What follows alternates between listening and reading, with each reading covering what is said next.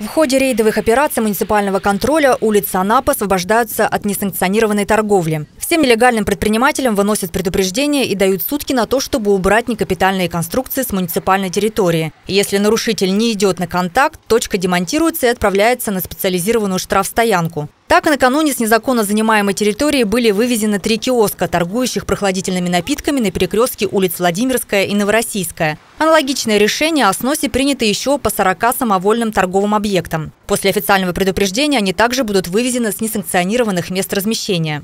Также специалисты провели ревизию торговых точек на пляжных территориях. На специальной комиссии рассмотрели и вынесли решение по 13 незаконным объектам торговли. В течение следующей недели, если собственники не уберут торговые павильоны самостоятельно, их демонтирует муниципальный контроль.